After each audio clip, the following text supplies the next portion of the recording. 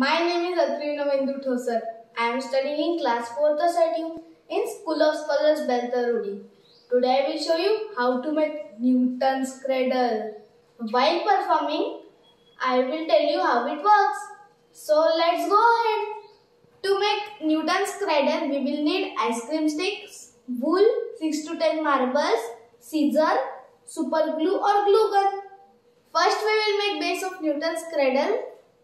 So take 7 ice cream sticks and put them like this. And stick them together. I have made the structure like this. Then add 2 more ice cream sticks here and 2 more ice cream sticks at side. So structure will get strength. Now take 4 more ice cream sticks and paste it on one on each corner in this manner. After this step, take two more ice cream sticks and paste them like this. Like this. Now take two more ice cream sticks and paste them like this.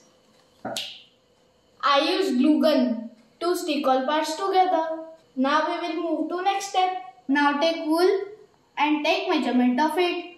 Make sure after putting marble here, marble should have at least 1 centimeter gap from the base. Now take same size of wool for number of marbles you are taking. I have 7 marbles, so I am taking 7 pieces. Now take marble and stick it to the center of the wool. Do it for all marbles like this. Now we will stick the wool on both sides with equal length from the marble like this.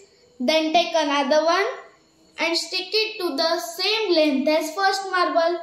Make sure that both marbles should touch each other like this. Now stick all remaining marble in this way. See how I arranged it. Now next step is take two more ice cream sticks. Conceal those threads and cut remaining one. So friends our Newton cradle is ready.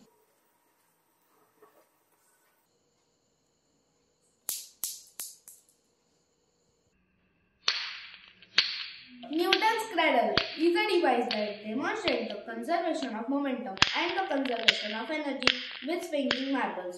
When one marble at the end is lifted and released, it strikes the stationary marbles, transmitting a force through the stationary marbles that pushes the last marble upward.